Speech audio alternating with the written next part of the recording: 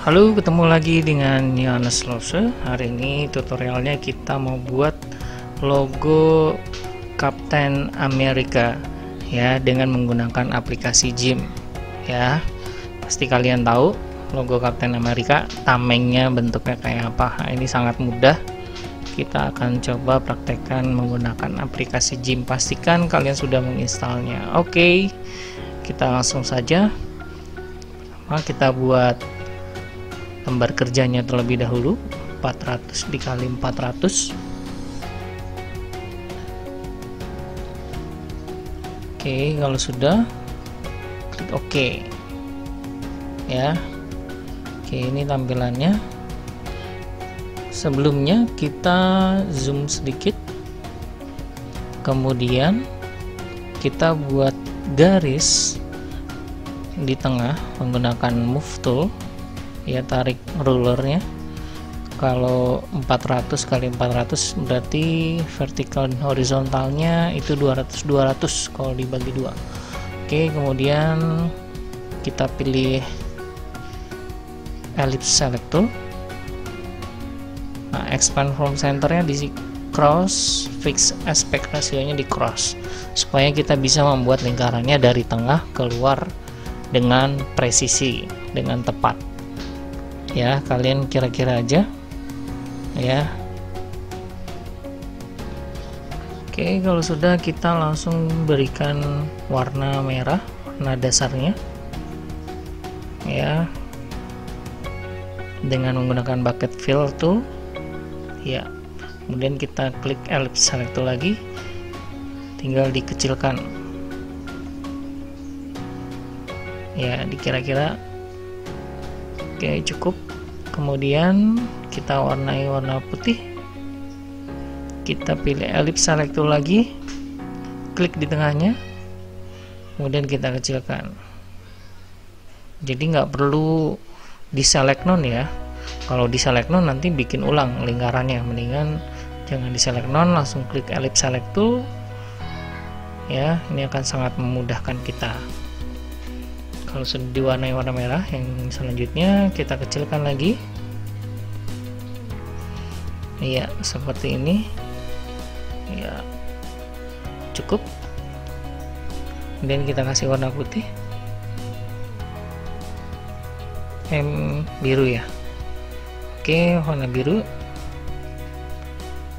Oke kalau sudah baru di kita select non ya atau CTRL Shift plus A shortcutnya. Oke kalau sudah kita menggunakan paintbrush nah untuk membuat bintangnya Oke kita buat layer yang baru dulu ya. Kita kasih nama bintang Oke. Kenapa harus dikasih buat layer baru terlebih dahulu supaya nanti kita bisa rotate bintangnya. Ya. Kita sesuaikan dulu dengan besaran lingkaran yang warna biru bintangnya.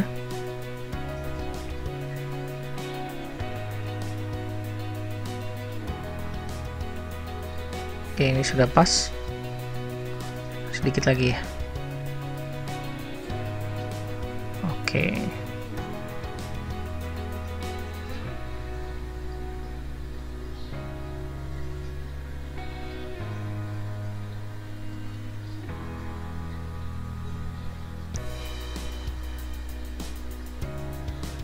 Oke, kalau sudah kita gunakan rotate tools ya ini. Kemudian kita klik. Ya kita geser. Ya. Oke. Okay. klik rotate. Ya. Kalau sudah kita mau kasih warna gradient warna gradasi menggunakan tools yang gradient ya blend tool fill namanya. Oke kita kasih warna sedikit gray dan warna putih gabungannya. Oke kemudian shape nya kita ganti yang ini. Ya kita tarik. Oke kalau sudah kita hilangkan seleksinya. Jangan lupa ya. Select none atau Ctrl Shift A. Oke. Ini bisa di kita gabungkan dengan layer background ya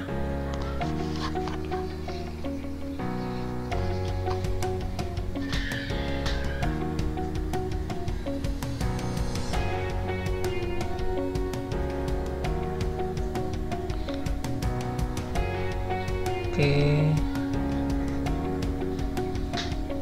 Ini kalau misalnya kalian mau buat filenya transparansi jadi layer background putihnya kalian bisa hilangkan ya.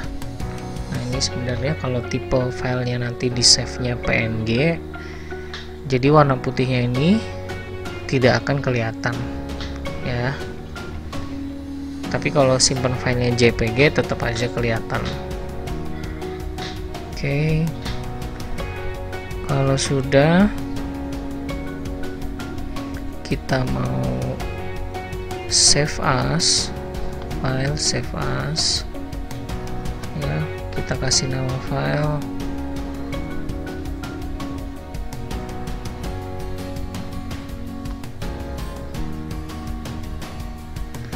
logo Kapten Amerika. Nama kelas.